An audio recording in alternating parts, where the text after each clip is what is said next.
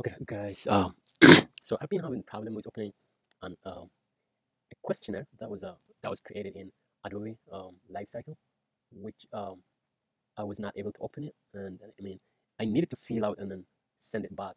So I need to open it in Adobe Acrobat, and um, I have tried it on different computers, on even on this one on virtual machine on Windows 7, um, which is on the virtual machine, and I have tried it on the actual Windows 7 um, computer too, but um the result is I got this one.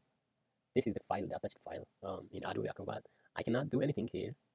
Um, I can open it in preview here on Mac, but nothing shows up. I, I went to the website and I downloaded it. Um, when I try um, open it with, with Adobe, um, it gives me the same error.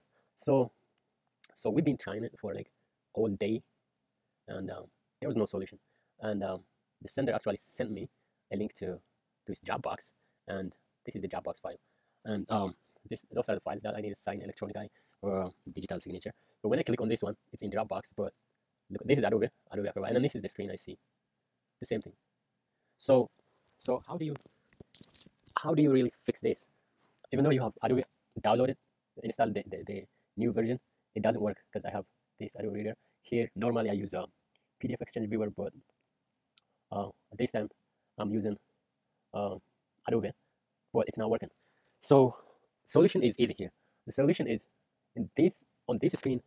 Um, just go to here and download it. You can actually I don't know if it works if you download it into your Dropbox folder, but download it directly. And uh, let's see, we close out this one and go to your download folder here, and uh, this one actually.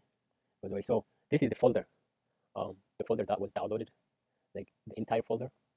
Uh, and from here uh, we're going to open it in Adobe Acrobat. Uh, let's see where is it? Okay.